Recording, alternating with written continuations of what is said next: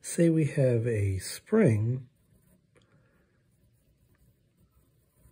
that looks like that, and we put an object of mass m on the spring, so we put the object of mass m and we, and we compress the spring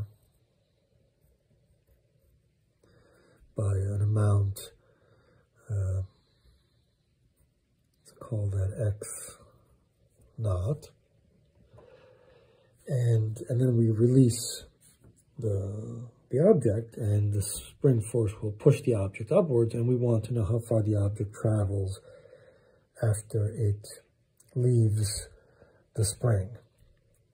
So it will obviously travel a distance x naught, at which point the object will be launched upwards, and we want to know what that is. So this is just uh, a conservation of energy.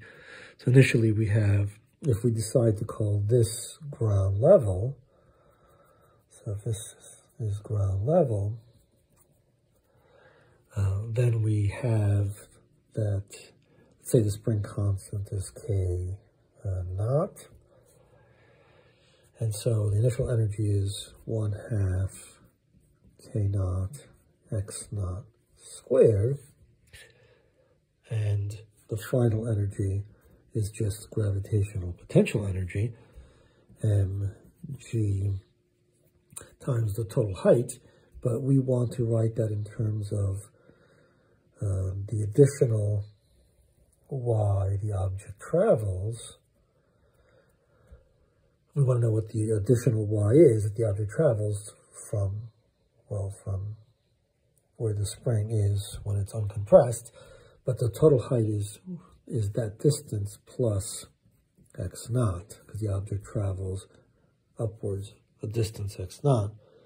So that is the total gravitational potential energy, and we're just solving for y.